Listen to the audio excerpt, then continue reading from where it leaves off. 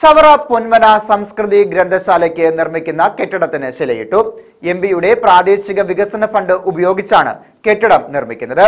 N K Premachandran M ശിലാസ്ഥാപനം നിർവഹിച്ചു. പൊന്മന സംസ്കൃതി ഗ്രന്ഥശാലയുടെ കെട്ടിടത്തിനാണ് ശിലയിട്ടത്.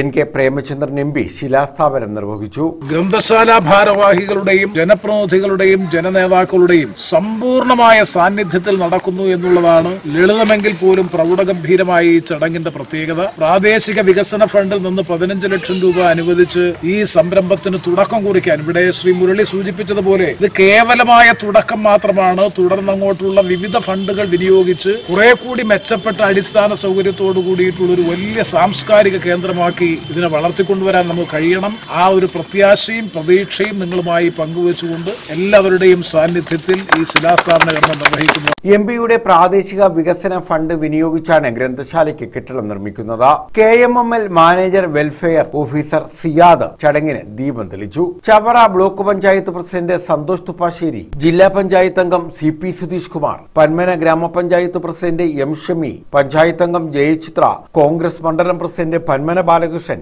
C P I local committee secretary K Mohanan B J P മണ്ഡലം general secretary Sabu taluk library council president advocate P B Sivan secretary V Vijayakumar C D S chairperson R Ramya C P M Panmana local committee secretary M V Prasad R S P local committee secretary Taj Porookkara തുടങ്ങിയവർ പങ്കെടുത്തു.